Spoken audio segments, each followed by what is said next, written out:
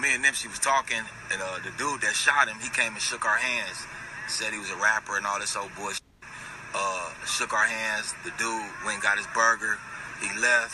When he left, I went and took my food in. As soon as I took my food inside the building, uh, the dude came back around the building busting. So I might have left Nipsey's side maybe three seconds. I left him maybe approximately about three seconds that I had left Nipsey, and, and, and the dude came and shot him. We know who he is. There's no, it's no mystery. Uh, there's no mystery. We know who he is. Like I said, it was uh, it's all hate and envy. That's all it was. It was jealousy, hate, and envy.